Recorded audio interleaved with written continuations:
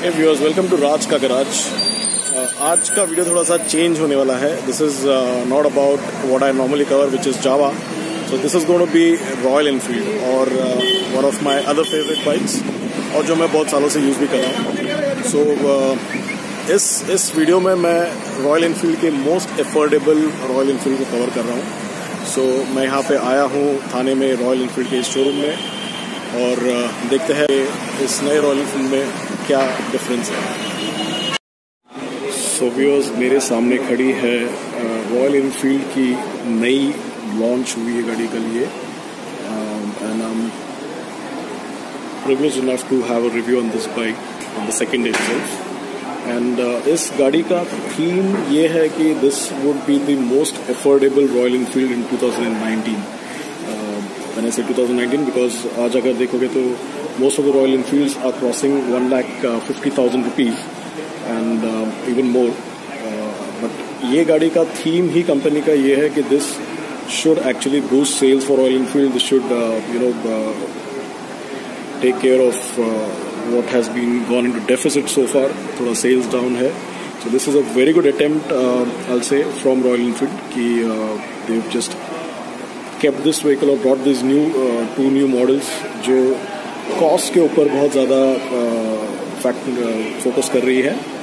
And that too without any you know compromise on the looks और rather the quality and quality अब अगर आरी का sturdiness देखोगे तो everybody knows how sturdy they are so मैं थोड़ा सा इसमें कवर कर रहा हूँ कि what is that has change from you know what this Royal Enfield Bullet 350 X is and uh, you know what is the difference uh, in the previous models the bullet 350 and this one so uh, अगर मैं overall एक, एक at a overview level बात करूँ तो both these bikes the 350x kickstart and the 350x but sorry the the electric start दोनों का theme जो पुरानी 350 है उसी से आया है it has the same engine the only thing is cosmetically गाड़ी को इन लोगों ने बहुत अच्छा change certain things cosmetically to bring the cost down and it actually helps in you know दोनों गाड़ी में ऑलमोस्ट दस हज़ार का फ़र्क है kick start and electric start में। तो uh, मैं शुरू करूँगा ये जो electric sorry the kick start model से शुरू करता हूँ। सो so, अगर uh, आप पुराने बुलेट 350 को अगर uh, देखते तो पुराने बुलेट 350 में यहाँ पे टैंक के ऊपर गोल्डन रिंग्स आती थी। सो so, गोल्डन रिंग्स आती थी एक एम्बलेम आता था अच्छा खासा। So they've done away with that and still the bike is looking awesome और also beautiful with this new ये ये पुराना गोल्डन एम्बलेम आता था विच अभी उन्होंने स्टिकर से रिप्लेस किया है। That has help them to curve the cost but at the same time it's looking nice so ये एक चीज़ है जहाँ पे इन्होंने uh, अच्छा काम किया है हमसे uh, अगर ओवरऑल uh, देखोगे तो इसमें स्टार्टर भी नहीं है जो बुलेट थ्री फिफ्टी जो बेसिक मॉडल थी, उसमें नहीं था। जो अगर आप इस इस वाली इलेक्ट्रिक स्टार्ट वाली को अगर देखोगे तो ये ये जो एम्बलम आया करता था पहले, ये काफ़ी बड़ा और काफ़ी मतलब इसी से, उसका थ्री डी इफ़ेक्ट बहुत ज़्यादा था उसका। तो ये भी इन लोगों ने इसके ऊपर कंट्रोल करके with new emblem they put you know they try to curve down the cost and one basic thing that they've done which is you know एक प्रोडक्शन के हिसाब से to you know standardize things तो production में manufacturing में, आप चीज़ों को जितना स्टैंडर्डाइज करते हो, उतना आपके कॉस्ट पे भी उसका एडवांटेज मिल जाता है आपको। तो अगर आप देखोगे तो इन्होंने सिर्फ़ टैंक्स पे जो भी काम, जो भी करना है, काम करना है टैंक पे किया so if you change the tank so you know there are three samples हो गई है आप सिर्फ़ टैंक के ऊपर पूरे गाड़ी का जो कलर है, वो चेंज हो जाता है। So that is a very good standardize theme जो आपके कॉस्ट को कंट्रोल में रखने में भी काम आता है आपको। क्योंकि आपको दस तरीके के पेंट्स दस तरीके के मैन्युफैक्चरिंग और इन्वेंट्री स्टॉक करने की ज़रूरत नहीं पड़ती है। बाकी सारी चीज़ें सेम होती है। You can change the tank and keep a control on your inventory on the D S O deals day sales outstanding बोलते उसे तो ये सारी चीज़ें कॉस्ट को कंट्रोल करने में अच्छा मदद करती है। uh, अभी टेक्निकली अगर मैं बात करूँ तो जैसे मैंने बताया this does not have a starter तो ये जो किक स्टार्ट मॉडल है इसमें स्टार्टर नहीं आएगा। इसकी वजह से इसमें जो बैटरी है वो भी फाइव एम की बैटरी बैठी है।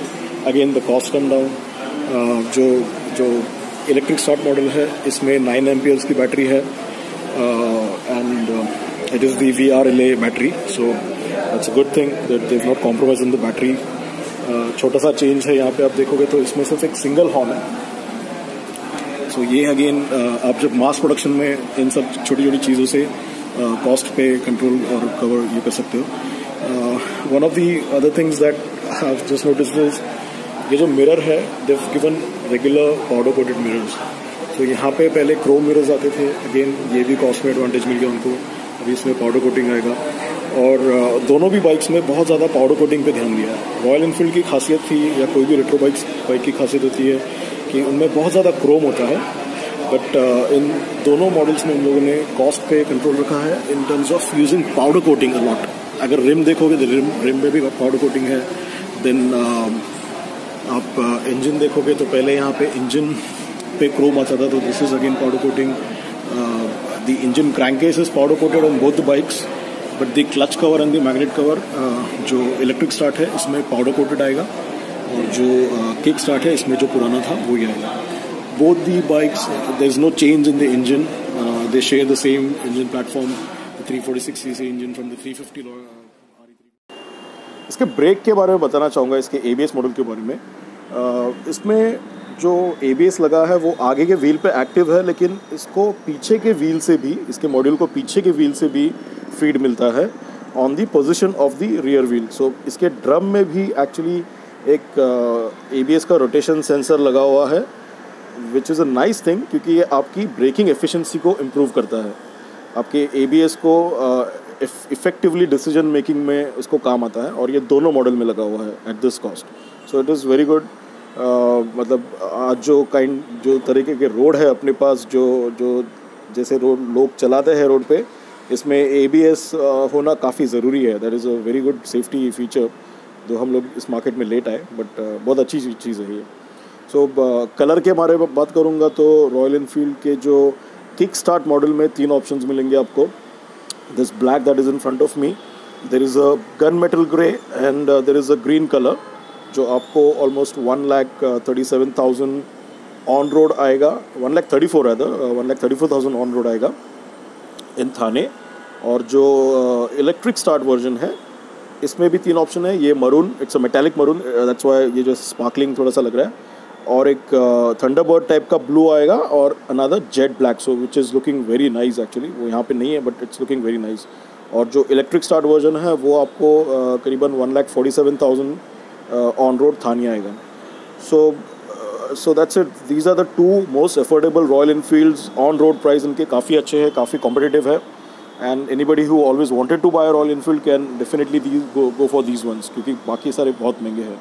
सो so, दोस्तों अगर आपको ये ये वीडियो अच्छा लगा तो प्लीज़ इसे लाइक कीजिए मेरे चैनल को सब्सक्राइब कीजिए इसे शेयर कीजिए and thank you for watching and happy riding thank you